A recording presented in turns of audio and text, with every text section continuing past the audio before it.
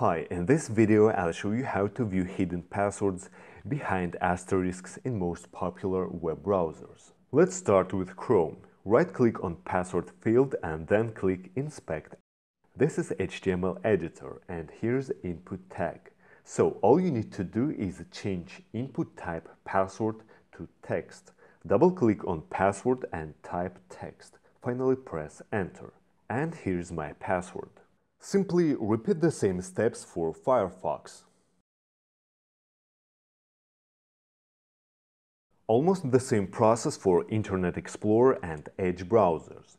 You can click Inspect element or press F12 button, or go to menu and click Developer Tools.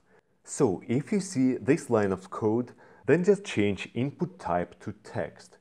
Here we go. If that line of code doesn't show up, simply type password in a search bar.